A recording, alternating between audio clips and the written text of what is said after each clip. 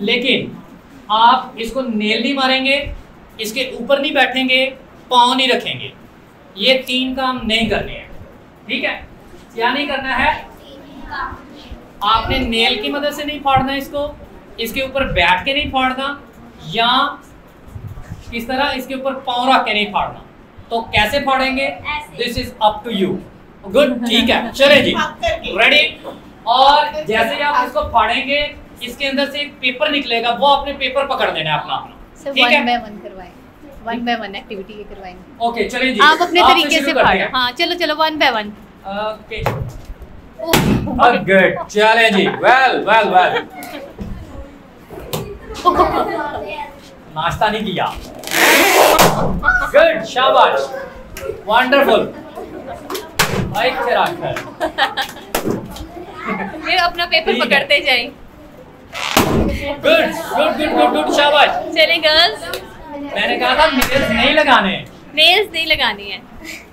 ज़ोर लगाना शाबाश शाबाश गुड गुड ले निदा माँ के दो खाना खा के आओ। हेल्प करें हेल्प करें जी हेल्प करें हेल्प करें।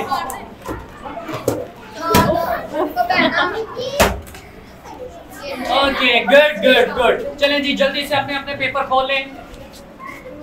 शौमिक टेक योर सीट और देखें आपके पेपर में क्या लिखा है। ओके ऐसे आपका पेपर turn करो आप ना। इधर आ ठीक है इनको तरतीब देते जाएँ ये सुने क्या कहा है? ये सुने क्या कहा इसको यहाँ पे आना चाहिए। आ जाओ भाई यहाँ पे आ जाओ। ओके गुड इसके बाद इसके बाद कौन आएगा? आप चलें जी आप जाओ उसके बाद। अड़िया गुड गुड गुड गुड शाबाश। ठीक है। चलें जी बाकी मूव होते जाए मूव होते जाए गुड गुड शाबाश। पाँच पाप आटा यीशु उससे कहा अपनी चार कर चल ओके अभी हम सारे मिलके पढ़ेंगे यीशु ने यीशु ने उससे कहा अपनी चारपाई। अपनी चारपाई। उठाकर। उठाकर। चल फिर ठीक है अब फिर से पढ़ेंगे। यीशु ने यीशु ने उससे उससे कहा कहा अपनी अपनी चारपाई उठाकर। चल फिर आज मैं आपको कुछ ऐसी ही कहानी सुनाने लगा हूँ। जिसमें चार दोस्त हैं।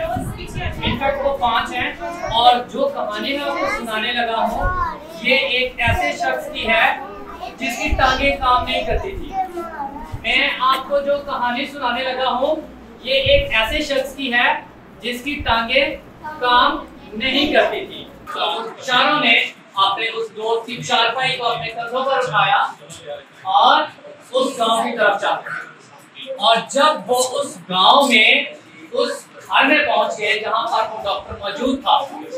तो क्या हुआ? उन्होंने देखा कि वहाँ पर बहुत ज़्यादा मरीज़ ऑलरेडी मौजूद इतने पेशेंट हैं कि अगर वो लाइन में लगते इंतज़ार करते तो शायद अगले तीन दिन तक उनकी बारी नहीं आती। वो बड़े परेशान थे। उनमें से एक दो खाकर गया उसने उस घर की जो खिड़की थी उसमें से झाँक कर देखा कि शायद अंदर कोई मेरा जान पहचान वाला बंदा हो, उसने क्या कि अपना नंबर पहले हमारे यहाँ ऐसा ही होता है ना? लेकिन अंदर में इतना ज़्यादा रश था कि वो परेशान होकर वापस आ गया। अब वो चारों दोस्त सर पकड़ बैठ कि अब क्या करें? हम इतनी दूर से अपने दोस्त को लेकर आए हैं। अगर हम उसको वैसे ही वापस ले गए तो फिर उसका दिल टूट जाएगा। वो और ज़्यादा परेशान।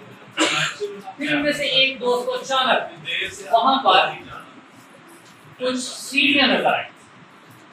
वो भागकर गया, सीढ़ियाँ चढ़ी, ऊपर गया तो उसके जेन में एक प्लान आया। वो आया नीचे और अपने दोस्तों को बताया, बाकियों को। उन सबने मिलकर अपने दोस्त की चारपाई उठाया, सीढ़ियाँ चढ़कर ऊपर चले गए और छत में उन्होंने क्या किया? एक होल कर दिया उन्होंने उस होल में से अपने दोस्त की चारपाई को नीचे लटका दिया। अब जब नीचे लटकाया तो उनके दोस्त की चारपाई एंड उस डॉक्टर के टेबल के बिल्कुल सामने जा गए जब उस डॉक्टर ने देखा, उस शख्स को जिसकी टांगे काम नहीं कर रही तो वो उठकर उसके पास आया और उससे कहा, तेरे गुना माफ़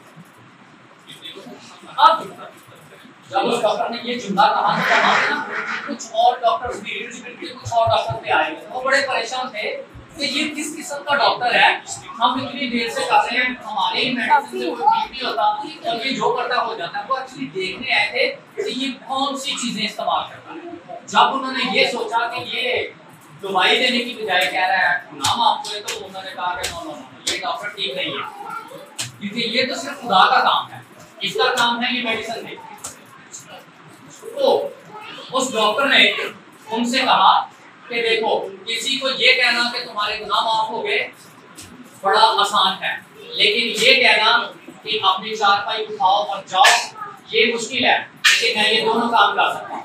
और फिर उसने उस शख्स से जिसकी टांगे काम नहीं कर रही थी उसने कहा कि बेटा अपनी चारपाई उठा और अपने घर चला। और उसी पर वो शख्स जो बड़े अरसे से चारपाई में था जिसकी टांगे काम नहीं करती थी उसने आगे चारपाई को उठाया और अपने कोई बता सकता है कि ये डॉक्टर कौन था? ये डॉक्टर कौन था? नाम यसुम सी